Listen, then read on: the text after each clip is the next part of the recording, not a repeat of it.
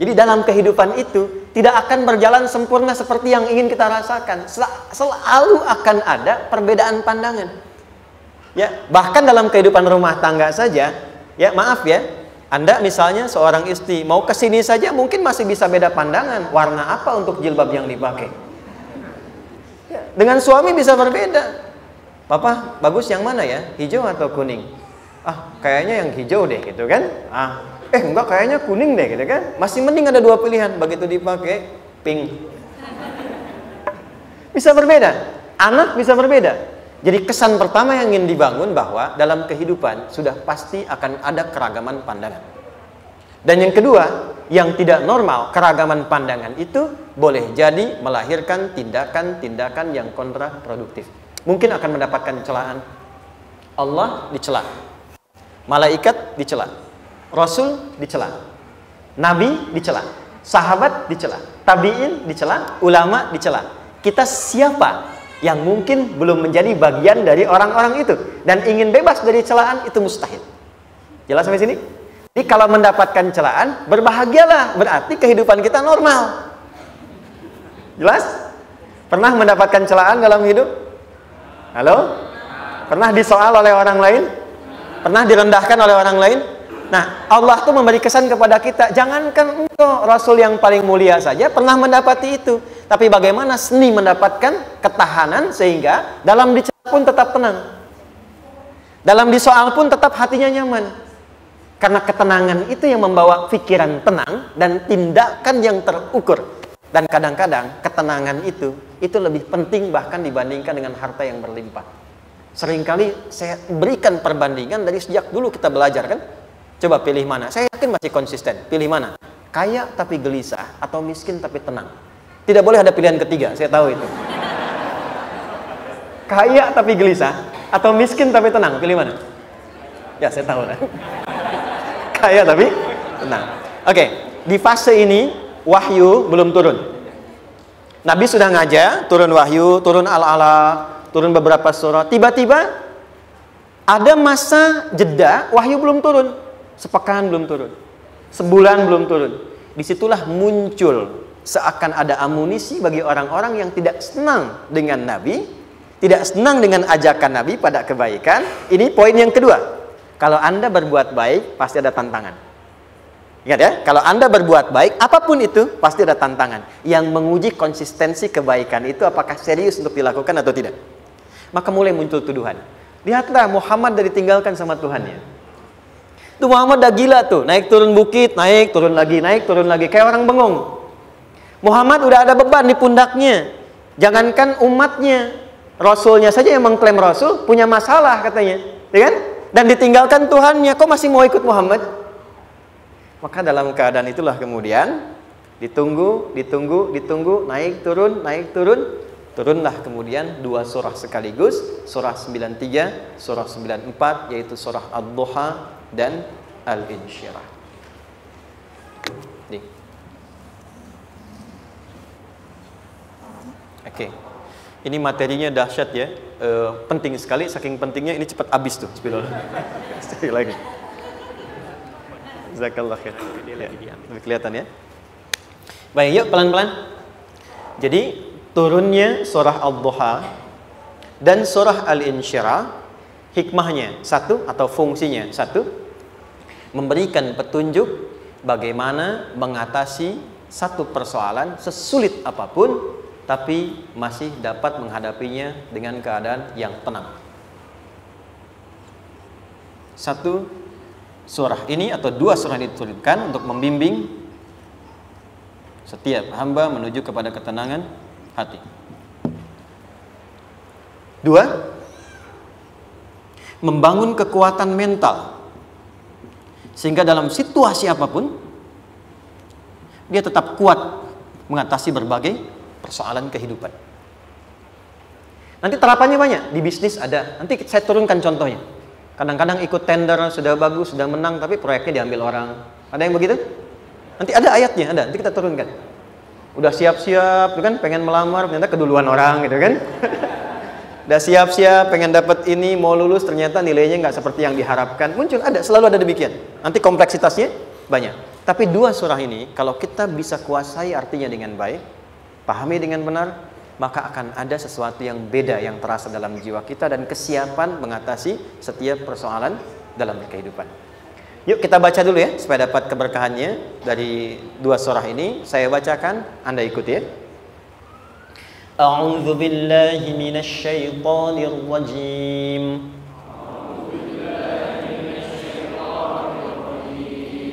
بسم الله الرحمن الرحيم. بسم الله الرحمن الرحيم والضحى. والضحى والليل إذا سجى. والليل ما ودعك ربك وما قلى.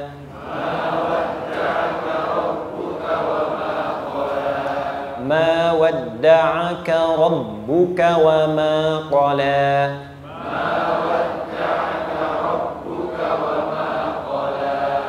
وللآخرة خير لك من الأولى.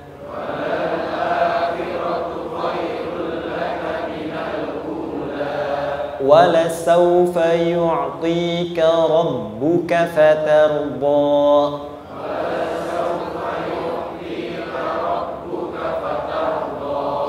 ألم يجدك يتيما فآوى.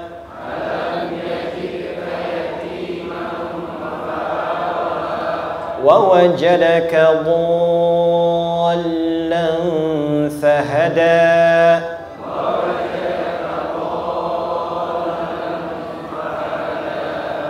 ووجدك عائلا فأغنى.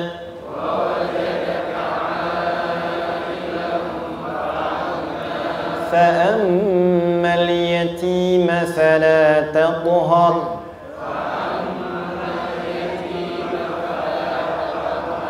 وأما السائل فلا تنهر.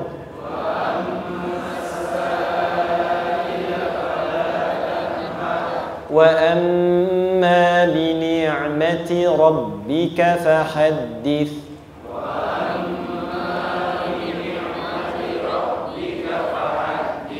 Baik, satu surah dulu Alhamdulillah. Izin saya bacakan tadi untuk diikuti supaya setidaknya kalau kita pulang dan ditanya bagaimana hidupmu engkau jalani seperti apa engkau berinteraksi dengan Quran yang telah aku turunkan? Maka kita pernah menjawab ya Allah kami pernah baca akan itu. Jangan pernah kita berkehidupan sampai wafat dan tidak pernah berinteraksi dengan Quran walaupun sekedar membacanya. Wadduha aku bersumpah setiap huruf waw yang berada di awal kalimat di satu surah itu makna utamanya berarti sumpah. Ya kosam sumpah sering kali diartikan demi ya. Wal asri demi masa. Wal fajri demi waktu fajar. Wal laili demi malam. Intinya sumpah.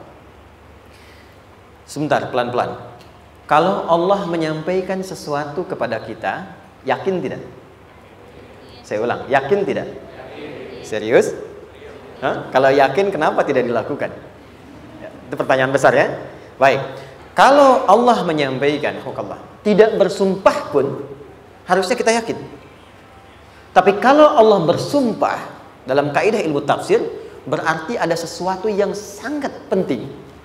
Yang saking pentingnya akan sangat dibutuhkan oleh setiap hamba sehingga diminta setiap hamba itu fokus menyimak apa yang mau disampaikan. Bahkan saking pentingnya menyimak itu Allah bersumpah. Jelas Kalau teman-teman menemukan di Quran ada ayat dibuka dengan sumpah berarti ada kasih Allah yang tinggi yang akan disampaikan di ayat itu sampai meminta kita fokus untuk menyimaknya Ad-duha untuk memudahkan maknanya, teman-teman kalau waktu duha itu jam berapa ya? Hah? Oke, sebetulnya dimulai sejak matahari itu mulai naik yang memantulkan ya atau me me menyinari cahayanya itu mulai terasa lembut. Ya kalau misalnya kita ambil satu jam setengah setelah subuh. Sekarang subuh setengah lima lah, taruhlah setengah lima ya. Satu jam setengah berarti jam enam kan? Nah itu awal duha tuh. Awal duha. Sampai ke pertengahan kurang lebih setengah sepuluh jam sepuluh. Akhir duha jam sebelas sampai menjelang ke zuhur. Awal duhanya disebut dengan syuruk namanya. Syuruk. Jadi syuruk tuh awal duha. Kalau sudah jam 6 ada cahaya matahari ya. Enak nggak ke tubuh kita itu? Nyaman nggak? Jam 8 enak nggak kalau berjemur ya? Jam 9 enak ya? Nah, ini kata kiasan dalam bahasa Arab. Kalau kita merasakan sesuatu yang enak, nyaman, memberikan manfaat yang banyak, itu orang Arab sering memberikan kiasan dengan waktu-waktu tertentu. Di antaranya duha. Jadi kalau kita menemukan kalimat duha, jangan langsung diartikan ke waktu duhanya. Boleh jadi yang diinginkan adalah makna di balik itu yaitu semua kenikmatan dan kenyamanan yang didapatkan. Cara mengartikan ini, wadduha aku bersumpah kata Allah ya Muhammad demi semua kenikmatan yang kau rasakan dalam hidup seperti engkau merasakan kenikmatan cahaya duha itu. Jelas? Walaili idza saja dan aku bersumpah al-lail, lail itu apa? Malam. Baik, lail turunannya layali jamaknya lela, lili, lala itu malam. Jadi kalau ada ibu leli, ibu malam-malam ya. Lail. Oke. Okay. Lail itu malam. Malam gelap nggak? Gelap. Tapi kalau gelapnya gulita, tidak ada cahayanya, gelap betul gitu. Gelap ya. Misalnya sedang kita uh, dapati misalnya uh, satu momentum padam lampu, padam semua dan pas gerhana misalnya gelap sekali.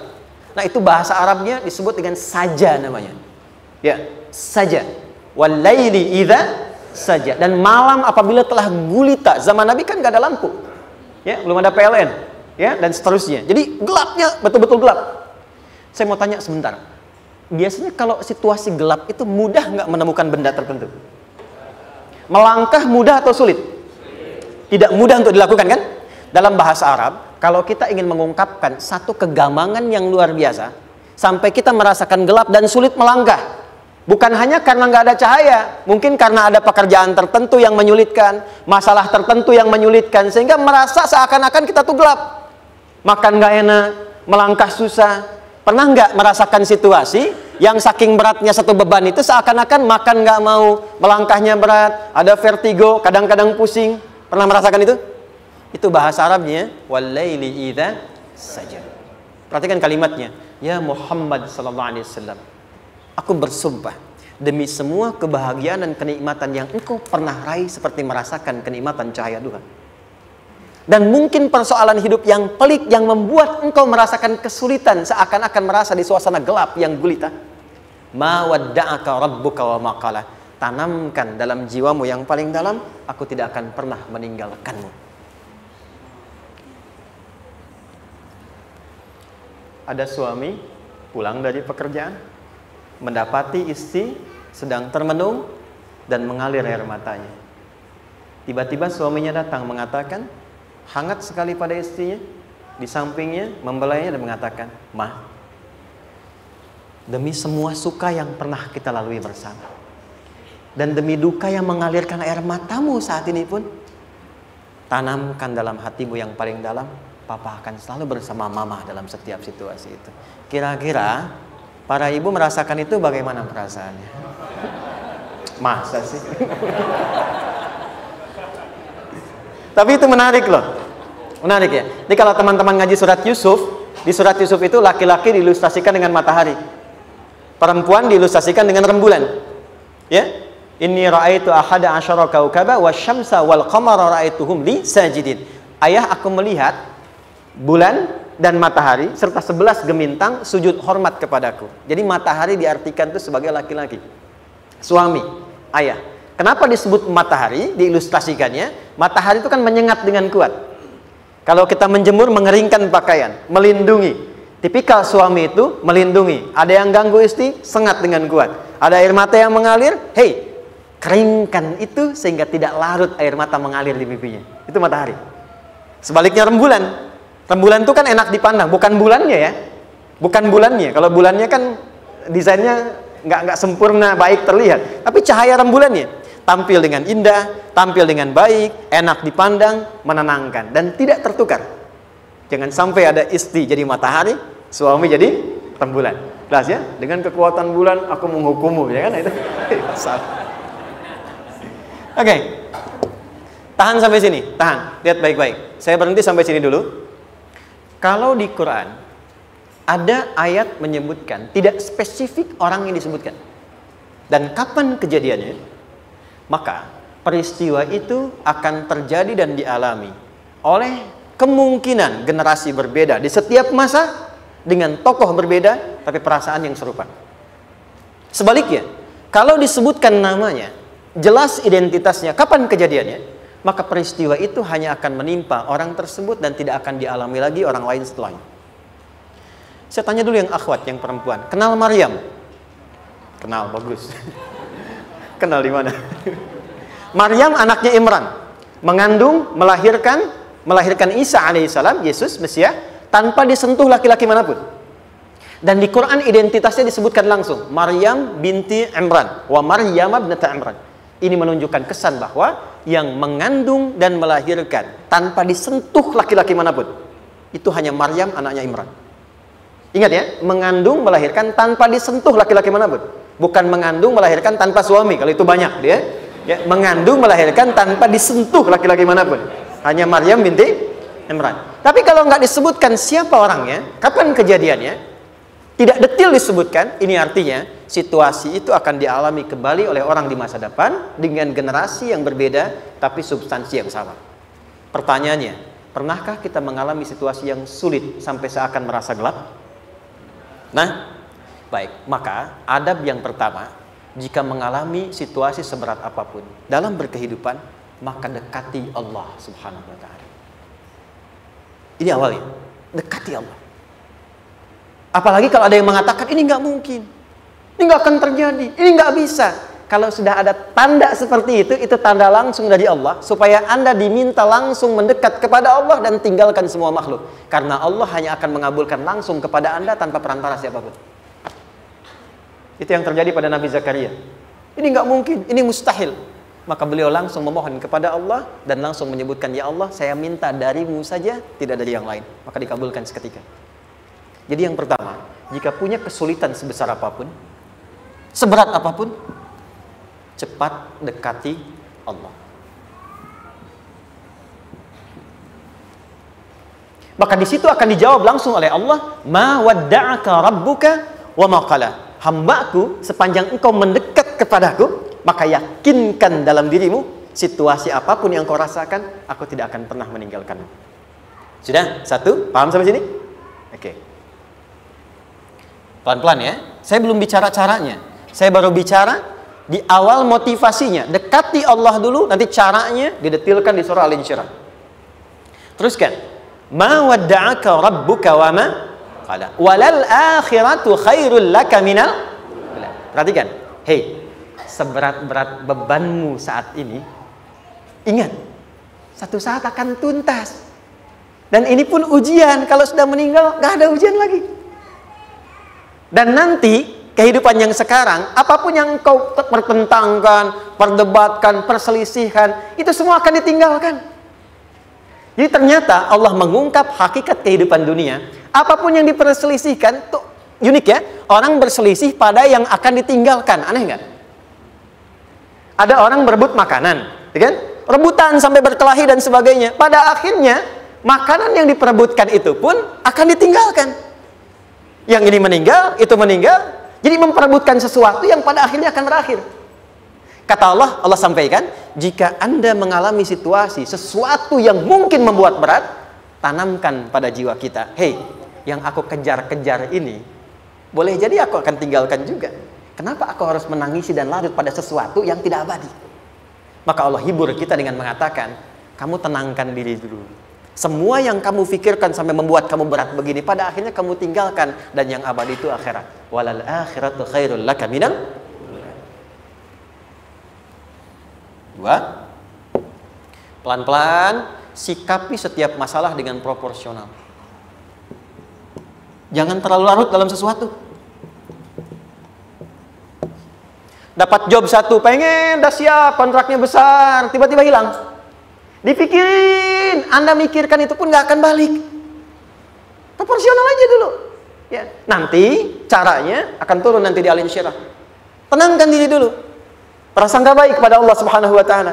Boleh jadi apa yang Allah ingin berikan sebagai pendahuluan sekarang belum sampai kepada kita karena Allah menyiapkan yang lebih baik di balik itu. Kita belum tahu ada apa di balik itu sehingga kita tidak dapatkan itu. Sehingga kemudian Allah katakan walal akhiratu khairul laka ula. Teruskan wala saufa yu'tika rabbuka pelan-pelan orang yang punya sikap seperti ini itu cenderung lebih dekat mendapatkan ridha Allah dibandingkan dengan orang-orang yang larut dalam kesulitan. Orang yang move on dengan setiap persoalan dalam kehidupan, cepat berpikir secara proporsional, tidak menggantungkan hidupnya pada persoalan tertentu sehingga membuat dia menjadi beban, itu lebih mendekatkan dirinya kepada ridha Allah dibandingkan dengan orang yang meratapi persoalan hidupnya.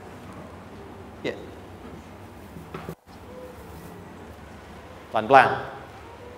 Jadi spiritnya, kalau punya masalah apa pun, jangan dilarutin terus. Gak usah diratapi, cepat move on. Berpikir lagi, Rencanakan lagi nanti. Detailnya ada di Alin Syirah. Tapi poin besarnya janji Allah mengatakan kalau Anda bisa move on proporsional maka yang dijanjikan oleh Allah di situ Allah percepat datangnya ridha Allah Subhanahu wa taala. Kalau ridha Allah sudah datang, maka akan dua yang diberikan. Pertama kali, ketenangan di dalam jiwa dan yang kedua, kemampuan untuk berikhtiar lebih baik mencapai apa yang diinginkan. Satu, kalau ridha Allah sudah diberikan pada seorang hamba, yang pertama diberikan ketenangan dalam jiwa. Bukan dunianya dulu. Bukan apa yang Anda ingin harapkan dulu. Pengen sesuatu, ya, pengen materi, pengen kedudukan, pengen lulus anaknya ujian, ya kan? Tiba-tiba terjadi sesuatu, diratapin, alih-alih meratap, alih-alih membuat status, alih-alih menyulitkan diri, kata Allah, terima dulu proporsional setelah itu dekatkan diri kepada Allah, turun ridha Allah, begitu turun yang pertama diberikan ketenangan kepada hati. Tenang dulu. Kalau sudah tenang nanti dibimbing menyelesaikan apa yang sedang dihadapi itu. Itu poin yang ketiga. Pelan-pelan. Empat. Kita masuk ke detail sekarang. Perhatikan baik-baik. Ini yang paling menarik. Alam yajidka yatiman fa'awa. Muhammad SAW, bukankah dulu engkau yatim? Punya banyak masalah? aku selesaikan juga. Ayahmu meninggal sebelum lahir, ada ibu. Ibu meninggal, ada kakek. Kakek meninggal, ada paman. Ya kan? Ada teman yang menemani Sayyidah Khadijah, teman yang setia, semua kebutuhan tersedia. Artinya Pak, perhatikan baik-baik. Kalau Anda punya masalah sekarang, jangan sampai melupakan yang dulu-dulu pun pernah tuntas Allah selesaikan. Jadi kalau sekarang sedang punya persoalan, jangan sampai satu masalah ini membuat Anda kehilangan harapan dan kehidupan. Sementara Anda sadar dulu pun banyak masalah kok selesai juga. Kenapa dengan yang satu ini kita harus jatuh? Sekarang usia berapa? 20, 30, 40, 50. Sekarang usia 50 tahun, ada masalah, baru 5 menit datang sudah merasa jatuh. Yang 50 tahun ke belakang yang banyak selesai itu kita nilai atau tidak? Maka kata Allah, seperti yang dulu pernah aku selesaikan ribuan masalah itu, yang sekarang pun mudah aku tuntaskan. Jelas? Nah, secara psikologi, Orang-orang yang selalu bertindak seperti itu, itu akan selalu punya harapan lebih tinggi untuk menyelesaikan persoalan. Jadi kalau sedang punya masalah, pikirkan yang dulu juga selesai, masa yang sekarang nggak selesai. Itu prinsipnya. Secara psikologis demikian. Jelas ya? Oke. Wa wajadaka fahada. Muhammad, dulu engkau pernah mengalami melihat masyarakat banyak berbuat yang tidak baik, aku berikan petunjuk. Kuncinya fahada di situ. Orang yang punya motivasi kuat dan keyakinan untuk bisa menyelesaikan persoalannya, maka dia akan lebih cepat mendapatkan petunjuk Allah untuk mendapatkan solusi terbaik. Ada sini. Saya agak cepat ya, mohon izin. Wa wajadaka ilang fa'aghna. Bahkan, maaf, bukan sekedar selesai. Kalau perlu saya bikin kaya, kata Allah. Aghna itu kalau ilmu, ilmunya luas. Kalau harta, hartanya banyak. Kalau kedudukan, kedudukannya tinggi. Hei, engkau yang sedang mengejar kedudukan, aku tahan sebentar karena ada yang nggak bagus untukmu di sini. Tapi kalau kamu terima, aku angkat itu lebih daripada apa yang kamu harapkan. Kamu pengennya bintang dua, aku naikkan sampai bintang empat. Kalau perlu lima sekalian. Hei, kamu yang ingin kampus di sini, aku tahan. Bahasa kamu nggak lulus, kamu nangis, kamu mengadu, kamu datang pada orang tuamu. Orang tua mulai protes, mulai curhat macam-macam. Terima dulu. Mungkin di sini ada yang tidak baik seperti doa ibumu yang sering memohon, ya Allah. Jangan sampai anakku berbuat yang salah. Jangan sampai terjebak narkoba. Jangan sampai terbawa tawuran. Di sini ada yang kurang tepat untukmu. Kalau kamu riba, kamu terima, kamu proporsional, bahkan aku pindahkan ke kampus yang lebih baik yang tidak kamu bayangkan sebelumnya. Di orang-orang yang selalu menerima apa yang Allah ujikan dan riba dengan itu, maka Allah akan angkat derajatnya bahkan melebihi ekspektasi dirinya. Paham? Kalau sudah seperti itu, maka lihat ujung ayatnya. Lihat ujung ayatnya. Fa'ammal yatima fala taqar. Hei, maka jangan pelit berbagi kepada orang lain. Share. Kalau sudah sukses share. Berbagi, bukan hanya materi, bagi ilmunya, ya, bagi kebahagiaannya. Wa ammas sa'ila fala tanhar. Jangan sampai nunggu orang minta. Kalau lihat ada kawan yang butuh, sekarang Anda sukses. Tapi boleh jadi kesuksesan Anda itu tangganya dari teman-teman Anda. Kalau sudah teraih ke atas, lihat lagi anak tangganya ke bawah. Ajak teman, jangan ditunggu minta. Ajak, bawa dia, berikan peluang. Jangan sampai dia minta, apalagi Anda bentak-bentak. Aku kan yang dulu bantu kamu, jangan sampai keluar kata-kata itu. Kamu bisa naik di atas karena aku kan yang dulu bantu kamu. Kamu bisa jadi pemeran utama karena aku yang rekomendasikan. Karena aku yang dorong kamu, misal. Jangan sampai keluar kata-kata itu. Apalagi langsung keluar tidak. Ini karena ilmuku saja misalnya. Kalau itu bisa dilakukan dengan baik. Lihat ujungnya. Wa amma bi ni'mati rabbika fahaddits. Maka semua nikmat yang dirasakan akan mudah untuk diimplementasikan dan disyukuri. Jadi semua nikmat itu bukan cuma dirasakan. Jadi membagi semua nikmat itu adalah rasa terbaik untuk menikmatinya. Maaf ya, anda kalau punya makanan, dimakan sendiri. Dengan dibagi sama-sama, kira-kira rasa nyamannya yang pertama atau yang kedua? Kedua. Makan sendiri, enaknya sendiri kan? Tapi ketika ada teman berbagi dan tahu, oh enak ya, nyaman ya, ada kebahagiaan, ada ngobrol, ada tertawa, ada kebersamaan, itulah inti nikmat yang sesungguhnya. Wa amma bi ni'mati rabbika ternyata masalah yang diberikan bukan ingin memberikan beban tapi ujungnya endingnya supaya anda bisa mendapatkan nikmat berkualitas yang bisa dibagi. Lihat surat ad-duha itu jangan cuma lihat awalnya lihat ujungnya. Ternyata ketika seseorang mendapat masalah seberat apa pun itu bukan ingin membebani tapi ingin meningkatkan kualitas hidupnya supaya mendapatkan nikmat yang lebih besar dan merasakan nikmatnya itu dengan berbagi. Itu poinnya Ah, jadi kalau sampai sini kita paham dan kita beri nama misalnya dengan fikih ujian, jadi kalau desain ujian ini sistematikanya kita pahami, maka tidak ada alasan untuk mengeluhkan persoalan. Jadi melihat masalah itu bukan sebagai beban, pada akhirnya melihatnya sebagai tangga untuk mencapai kebahagiaan. Jelas sampai sini? Baik, kalau sudah seperti ini ingin punya masalah atau tidak ingin punya masalah? Tidak. Ingat ya.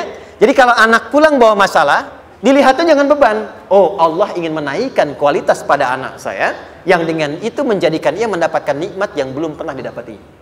Kalau rumah tangga sedang ada masalah, jangan banyak diperseterukan.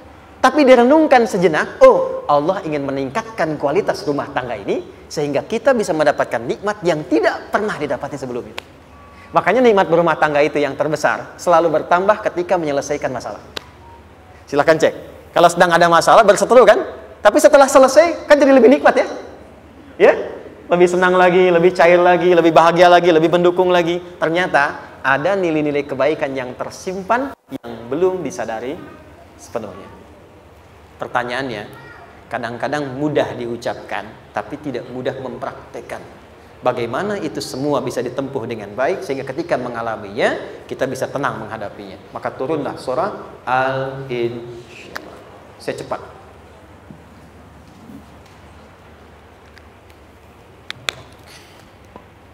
Teman-teman, ini apa? Kelas ya? Baik, pelan-pelan sedikit. Kira-kira volumenya besar kecil? Kecil ya? Baik. Kalau saya bandingkan dengan gayung, volumenya besar mana? Gayung ya? Baik.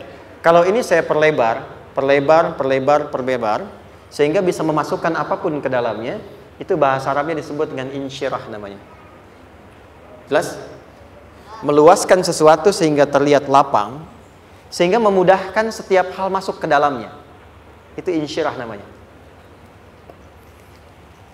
Surah ini diberi nama dengan surah Al-Insyirah yang berarti sesuatu yang lapang, yang tenang, yang nyaman.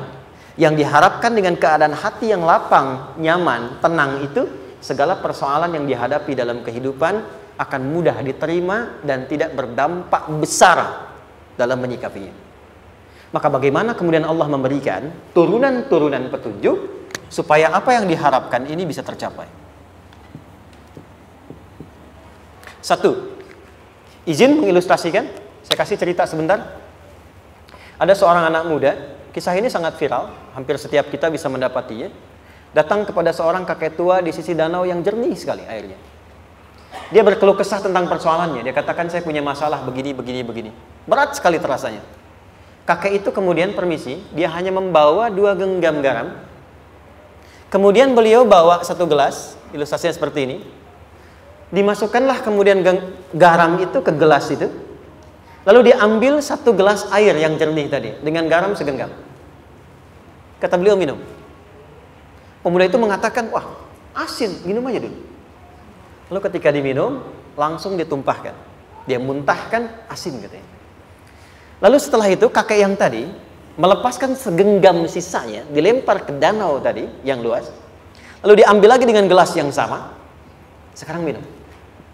Bagaimana rasanya? Segar, enak, nyaman. Itulah hatimu. Kalau hatimu sempit sesempit gelas ini, maka masalah sekecil apa pun akan selalu menghadirkan kesulitan seperti engkau menelan garam tadi. Kalau, tapi kalau hatimu luas, sebesar apa pun masalah, tidak akan pernah berdampak pada dirimu kecuali engkau mampu menyusun rencana untuk mengatasinya. Kelapangan hati yang membuat diri kita mampu menerima persoalan apa pun itu yang disebut dengan insyirah. Makanya dulu tahun 90-an ada sinetron Hati Seluas Samudra gitu ya. Saya pernah tahu itu. Sama anaknya diapa-apain juga, oh masih aja ya menerima gitu. Dulu siapa ya? Jeremy Thomas dan lain-lain ya. Saya kira ada itu. Ya, saya kira itu ya. Saya pernah lihat sejenak ya. Saya jarang-jarang nonton-nonton itu. Pernah pernah lihat aja. Saya senang riset. Senang riset. Jadi kalau riset itu ada riset dakwah, ada riset materi. Saya teman-teman yang musik gitu ya, saya tidak eh, apa? Tidak terlalu dekat dengan musik karena saya di Quran gitu. Tapi untuk mengetahui hukum musik itu bagaimana, saya riset. Sampai ke notasi saya tahu. C D e, F G A B C G A B C D F G D F G A B C D A B C D F G A F G A B C D E B C D E F G A B F G A B C D A Fis Cis Dis Ais Fis Gis Ais Bis Cis gitu kan ya? ya tapi kalau diminta piano gitar ini saya nggak bisa Ya, tapi untuk menentukan hukum, nah kita bisa paham gitu. Misalnya boleh nggak baca Quran pakai langgam Jawa gitu kan? Nah, hukumnya apa? Nanti dari teori itu muncul. Ya, paham ya? Nah, oke, okay, balik sini. Perhatikan baik-baik. Satu, saya agak cepat. Ini ditafsir langsung turun al-insyirah. Yang pertama, alam nashrah laka sadrak wa wada'na anka wizrak alladhi an qadha dhahrak. Tahan sampai sini dulu, tiga ayat. Saya mulai dari ayat kedua dan ketiga. Perhatikan baik-baik. Wa wada'na anka wizrak alladhi anqadha dhahrak. Artinya apa? Artinya satu beban yang diletakkan di pundak yang berpengaruh kepada semua bagian tubuh. Kita pernah melakukan atau melihat yang angkat beban ya? Beban kan semakin berat diangkat, semakin terasa ke bagian-bagian tubuh ya, ke semuanya. Nah, itu namanya wizrak alladhi anqadha dhahrak. Beban yang dipikul yang berat sekali sampai semua merasa. Makanya jadi satu ungkapan dengan mengatakan dia sedang memikul beban yang sangat berat. Sampai kepalanya pusing, tidur nggak nyaman, miring kanan, miring kiri, itu namanya ya alladzi anqadha. Satu. Saya percepat akan ada satu masa dalam hidup setiap hamba merasakan satu persoalan yang seakan-akan beban berat yang dipikul sampai merasa kesulitan dari ujung kepala sampai ujung kaki. Siapa pun itu. Jujur ya, setiap kita tanyakan pada diri sendiri, setiap kita yang ada di sini, saya yakin pasti pernah atau bahkan akan mengalami satu peristiwa yang merasakan beban berat sampai seakan-akan ujung kepala sampai ujung kaki merasakan sakitnya. Ada yang sudah mengalami atau bahkan nanti akan ada yang melalui. Perhatikan baik-baik. Teruskan ayatnya. Warafa'na laka. Perhatikan. Kalau ada yang sedang merasakan itu, yakinlah kata Allah, pada saat itu sesungguhnya Allah sedang mengangkat derajatnya dan meningkatkan kualitas hidupnya untuk mencapai sesuatu yang istimewa yang belum pernah diraihnya. Dari sini kita buat persamaan ujian tadi kan berbanding lurus dengan harapan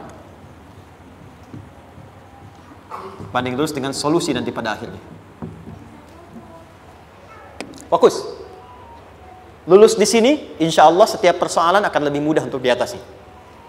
Ujian, seberat apa pun yang sedang kita alami, tidak akan pernah diberikan kepada kita oleh Allah, kecuali ternyata hikmahnya untuk mengabulkan harapan-harapan besar yang sebetulnya kita mintakan. Jujur ya, setiap kita kan sering punya permohonan ya, sering berdoa ya, ya Allah minta ini, minta itu, minta ini, minta itu, gitu kan? Nah, cara Allah mengabulkan harapan kita itu, yang pertama, jalurnya lewat ujian. Karena semua kesuksesan itu desain dasarnya adalah melewati ujian. Coba, anak-anak kita yang sedang sekolah itu, apa mungkin di wisuda dengan penuh kebahagiaan kalau nggak mengalami ujian? Hah? Lewat ujian dulu kan? Dia belajar dulu, ujian dulu, ngatasin soal dulu, lulus, baru wisuda. Apakah mungkin akan dapat IPK 4 yang diharapkan kalau tidak mengalami ujian? Belajar dulu, ya kan?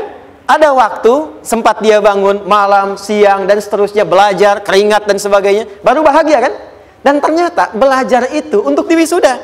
Sebab kalau kita tidak belajar, mustahil dapat wisuda. Kalau tidak lewat ujian, mustahil dapat ijazah. Karena ternyata harapan itu, hukum dasarnya dalam berkehidupan, bisa diraih dengan melewati ujian. Ini poinnya. Jadi mohon kalau sedang mengalami sebuah peristiwa dan kita harus menghadapi itu, coba renungkan, sebetulnya pernah berdoa apa sampai kita mengalami itu sehingga dengan jalan itulah sebetulnya Allah ingin mengabulkan harapan yang dulu pernah kita mintakan. Jelas? Oke, satu. Yuk turunkan rumus ya pelan-pelan. Quran surah kedua ayat 286. Ini ke sini dulu baru nanti kita balik lagi. 2 Al-Baqarah ayat 286. La yukallifullahu nafsan illa usaha. Tahan sampai sini. Lihat baik-baik. Hukum yang pertama. Hukum pertama. Allah tidak mungkin menguji seorang hamba di luar batas kemampuannya. Jadi kaidah yang pertama tadi, kalau kita sedang diuji, sebetulnya ada harapan dan doa yang pernah kita mohonkan dan Allah ingin mengabulkan itu, jalan pertama adalah ujian. Tapi adilnya Allah tidak akan pernah kita diuji kecuali sesuai dengan kemampuan kita. Jadi kalau nggak mampu, nggak mungkin diberikan ujian. Ingat ya, kalau tidak mampu, tidak mungkin diberikan ujian. Artinya harapan yang kita mohonkan pun akan sesuai dengan kemampuan kita. Jadi kalau kita minta sesuatu nggak mungkin bisa menggunakannya, nggak akan dikasih. Nah, balik ke sini, balik ke sini untuk memberikan ketenangan kepada hati kita. Kalau sedang menerima persoalan, setelah kita mengatakan, "Oh, ini mungkin ada harapan yang ingin saya dapatkan, jalannya lewat sini." Untuk memberikan ketenangan kepada hati, begitu persoalannya tiba, langsung katakan pada diri kita, "Saya pasti bisa menjalaninya. Mustahil saya diuji kalau nggak mampu menjalaninya." Itu bahasa singkatnya. Ingat ya? Kalau ingin mudah menyelesaikan persoalan, kata Quran, setiap ada ujian, langsung katakan pada hati kita, insya Allah bisa. Gak mungkin saya diuji kalau saya gak sanggup. Jelas? Dan tanamkan itu pada hati yang paling dalam. Ini gak mudah. Kalau cuma disimpan di pikiran, jadi beban. Tapi kalau Anda tanamkan dalam hati, seberat apa pun masalahnya, pasti saya sanggup. Pasti saya bisa. Pernah lihat dulu ada acara 90-an Benteng Hattori? Oke? Okay? Benteng Takeshi ya? Takeshi ya, ah, gitu kan artinya kan bisa jawab ya. Kita tahu Ninja Hattori mendaki gunung lewati lembah ya tahu ya. Songgoku, Songgohan uh, apa? Saya saya tahu itu. Songgoku, Kamehameha, Piccolo itu yang nulisnya Suzuki Watanabe saya tahu itu. Benteng Hattori, Benteng Hattori, balik lagi ya. Benteng Takeshi ya. Puncaknya kan main pakai itu kan, pakai tank ya dan sebagainya. Tapi pernah ingat gak? Pernah, pernah ingat gak satu episodenya itu? Begitu akan bertarung, kan selalu ada motivator di sampingnya itu mengatakan, ayo kamu bisa, kamu bisa, kamu bisa, gitu kan? Namanya. Dia nggak ngaji Quran tuh. Kita punya ayatnya. Pernah nggak? Buka lagi ya dulu ya. Oke. Korea, kenapa bisa nyusul Jepang? Salah satunya, waktu Jepang itu maju, setiap di Korea itu ditanamkan dari mulai anak-anak TK-nya kita lebih harus daripada Jepang, harus lebih daripada Jepang, harus lebih daripada Jepang. Sejak anak-anaknya TK, sejak anak-anaknya TK, itu ditanamkan betul. Kita bisa, kita dari TK. Sehingga ketika di sana bikin Honda, sini Hyundai. Hyundai kan dibacanya Hyundai, ya kan? Sana Honda, sini Hyundai gitu. Di apa pun yang dibuat Jepang, Korea harus lebih unggul. Itu ditanamkan dari awal. Bisa, bisa, bisa. Kita itu sekarang punya ayatnya. Jadi kalau sedang punya masalah seberat apa pun, katakan pada diri kita, insya Allah bisa. Gak mungkin diuji kalau nggak sanggup. Bisa insya Allah. Bisa. Kenapa mah? Bisa. Jelas? Oke, sudah di situ teruskan. Lanjutkan. Waraf, uh, warafa'na laka dzikra. Teruskan. Fa inna ma'al usri. Nah, ini poin terbesarnya. Fa inna ma'al usri yusra. Fa huruf yang menunjukkan sesuatu berlangsung dengan cepat. Inna di ilmu nahunya berbunyi begini di gramatikal bahasa Arab. Harfu nasbin wa taukidin. Tansibul isma wa tarfa'ul khabara. Mabniyun 'ala al-fathi la mahalla lahu min al-i'rabi. Paham? Tidak. Inna huruf yang digunakan untuk menguatkan informasi agar ditancapkan ke dalam hati sekuat-kuatnya dan jangan pernah ragu. Jadi kalau orang Arab itu nancapkan tongkat begini dan kuat, tidak goyah, itu nasab namanya. Nasab rajul asahu fil ardi. Inna ini harfu nasab. Jadi kalau ada di Quran dibuka informasinya dengan inna, maksudnya begini, hei, tancapkan informasi dalam hatimu dengan kuat, jangan pernah ragu. Yakinkan pada dirimu. Apa yang harus diyakinkan? Ma'al usri yusra. Inna ma'al usri usrun sama dengan yusrun. Lari ke sini. Oke. Apa artinya usrun? Sulit. Oke. Sulit itu ada dua. Ada sa'bun, ada usrun. Kalau kesulitan yang relatif, kata si A sulit, si B mudah, itu sa'bun namanya. Contoh, Kata si fulan, bahasa Jepang susah. Padahal kata yang lain tidak. Saya ke Jepang, anak-anak kecil begini bisa bahasa Jepang gitu kan. Bagi mereka mudah gitu ya. Saking mudahnya gitu. Kata shiwa gitu. Anak-anak kecil, bagi mereka mudah, bagi kita belum tentu. Itu sa'bun. Inna kata yabaniyah sa'bah. Relatif. Tapi kalau kesulitan yang sifatnya mutlak, semua orang mengatakan sulit. Maaf, bawa mobil, sulit atau mudah? Bukan mengendarai ya, bawa mobil, bawa. Sulit ya? Sulit ya? Baik, sepakat sulit semuanya. Nah, itu dalam bahasa Arab dikenal dengan usrun. Kesulitan yang semua sepakat bahwa itu susah. Sulit, semua sepakat. Dan ketika ada orang bicara, aku sedang punya masalah begini. Semua mengatakan, wah itu nggak mudah, itu nggak mudah. Itu usrun namanya. Lawannya, lawannya, kemudahan yang relatif disebut sahlun. Tapi kemudahan yang semua sepakat bahwa itu mudah, itu yusrun namanya mengangkat spidol. Semua mengatakan mudah, ringan. Itu yusrun namanya. Perhatikan, Allah tidak memasangkan sa'bun dengan sahlun, tapi memasangkan usrun dengan yusrun. Orang-orang yang punya keyakinan kuat, setiap persoalan itu akan selesai. Dan dia mengatakan pada dirinya, aku bisa melewatinya. Maka, perhatikan kalimatnya kata Quran, Inna ma'al usri yusran. Sesulit apa pun masalah yang sedang dia alami, maka Allah akan datangkan solusi semudah-mudahnya yang bisa dia nikmati.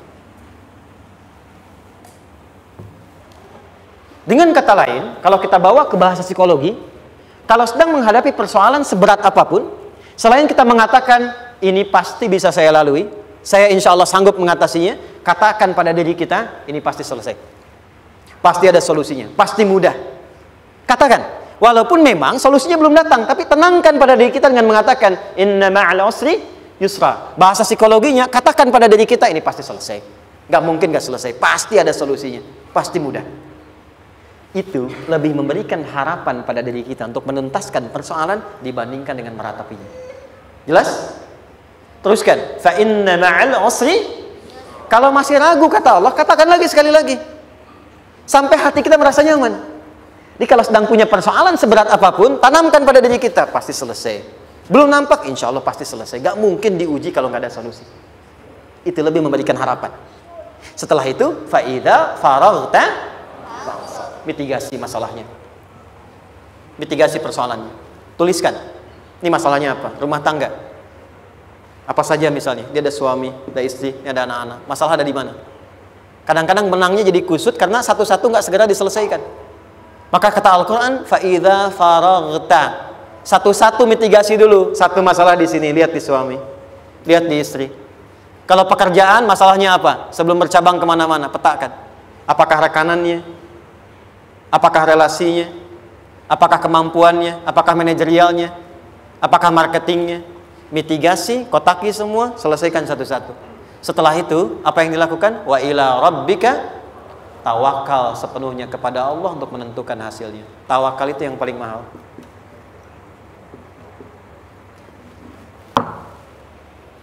Anda kalau nggak punya kepasrahan, stres. Karena selalu memikirkan apa yang mau dikerjakan dan selalu orientasi pada hasil. Kita punya tawakal. Kalau kita mampu menyerahkan sesuatu, gini, di sini ada orang yang paling jago misalnya main basket. Ada pertandingan basket. Begitu dibuka, udah tim musyawarah serahkan aja pada si fulan. Kan? Dia yang paling jago, dia. Bukankah dengan menyerahkan itu bukan hanya kita berikan sebuah tugas, ya kan? Tapi dengan itu ada kelapangan tersendiri kan? Ah yakinlah sukses, dia paling hebat. Pernah ada perasaan gitu? Sekarang, siapa yang paling mampu menguasai? Siapa yang paling hebat menyelesaikan segala hal? Siapa yang punya segalanya? Bukankah Allah? Orang-orang yang punya tingkat tawakal yang tinggi. Maka satu, dia akan lebih stabil keadaan mentalnya dan tidak akan pernah gelisah dengan kekecewaan. Gak ada kecewa. Karena tawakal itu kalau sudah kepasrahan pasti menerima hasil. Kalau sudah tawakal, terserah Allah tetapkan apa saja. Mau dapat sekarang, dapat besok, dapat nanti, Puncak yang paling tinggi, hei, tugasmu hanya berikhtiar semampu yang bisa dilakukan. Selanjutnya, biarkan Allah menetapkan apa yang menjadi bagian dari maslahat kehidupan kita. Saya tutup. Cara Allah menjawab harapan kita ada tiga. Satu, memberi langsung apa yang kita mintakan. Dua, menunda itu sampai kita siap menerimanya. Tiga, mengganti apa yang kita inginkan dengan apa yang kita butuhkan. Saya ulang ya. Satu, memberi langsung apa yang kita mohonkan. Misal, ya Allah saya ingin A misalnya, anak saya pengen ke ITB. Tapi nggak mungkin tiba-tiba langsung masuk ITB kan? Pasti lewat ini dulu kan, ada ujian dulu, ikut tes dan seterusnya diterima, sesuai. Dua, kadang menunda sesuatu sampai dia sanggup menjalaninya. Anda punya anak usia lima tahun, pengen diberikan motor, Anda mampu untuk memberi motor, dikasih nggak? Tidak. Sampai dia sanggup mengendarai motor, baru Anda berikan. Terkadang ada yang kita minta sekarang, tidak didapati sekarang. Tapi ternyata tahun depan kita dapat. Kita harus sadar bahwa anugerah yang kita dapatkan tahun depan itu sebetulnya adalah hasil doa kita di tahun ini. Pernah dengar nggak kisah viral? Nabi itu berdoa baru dikabulkan setahun setengah. Setahun enam bulan. Padahal itu Nabi loh. Kiblat pertama kita ke mana? Palestina kan? Baitul Maqdis kan? Nabi berdoa. Mohon terus nengok ke langit. Al-Baqarah ayat 144. Minta, minta, minta. Jawabannya turun setelah setahun setengah. Setahun enam bulan. Ada yang mengatakan di tafsir setahun delapan bulan. Baru dikabulkan setelah setahun setengah. Padahal kurang soleh apa Nabi? Nabinya siap, mungkin umatnya yang belum siap. Nabinya siap, tapi ada tantangan di masyarakat yang tidak mudah, yang mungkin bisa meruntuhkan dakwah. Baru dikabulkan setahun setengah. Ketika semua umatnya sudah bisa siap menerima itu. Boleh jadi apa yang diminta orang tua sekarang, terkabulnya mungkin belasan puluhan tahun pada anaknya yang nomor sekian. Tahu Imam Syafi'i? Imam Syafi'i itu kan nama aslinya Muhammad. Bapaknya Idris, kakek yang ke atas yang ketiga namanya Syafi'i. Kenapa disebut Imam Syafi'i dinisbatkan pada kakek yang ke atasnya? Ternyata kakeknya ini seorang ulama besar, saleh, memohon kepada Allah, setiap di keturunannya ada yang bisa menggantikan lebih soleh, lebih baik lagi. Ternyata yang didapatkan bukan dari anaknya, tapi generasi keturunan yang kesekian. Anda belum sekarang bisa hafal Quran. Misalnya, Anda bermohon berdoa, boleh jadi yang hafal, mungkin bukan di anak, bisa di cucu bisa di bagian keluarga yang lain. Maka terkadang tawakal itu tidak hanya memberikan hasil yang cepat, tapi memberikan keindahan yang terasa tertunda, tapi melengkapi kebahagiaan yang dirasakan. Penutupnya, boleh jadi minta ke ITB, diterimanya di Unpad. Minta motor, dapatnya mobil. Kalau itu senang luar biasa. Minta mobil, dapatnya motor, gitu kan? Ternyata kadang-kadang sini yang terakhir saya tutup Allah mengabulkan apa yang kita butuhkan, bukan apa yang kita inginkan. Anak Anda sakit dibawa ke dokter, kata dokter jangan dulu makan jeruk. Maka Anda pulang, dia minta jeruk. Anda berikan apel. Saya nggak mau apel mah, saya pengennya jeruk. Gak apa-apa nah, ini apel rasa jeruk misalnya kan. Anda berikan. Ternyata apa? Bukan ingin menyakiti dan tidak mengabulkan keinginan anak, tapi lebih memberikan apa yang dia butuh. Kadang-kadang maaf ya, teman-teman mintanya proyek A udah capek di situ nggak dapat, dapatnya di yang lain. Teman-teman, itu Allah berikan sebetulnya hasil ikhtiar Anda yang sebelumnya. Cuma dikasih yang lebih baik yang tidak Anda pernah bayangkan masalah.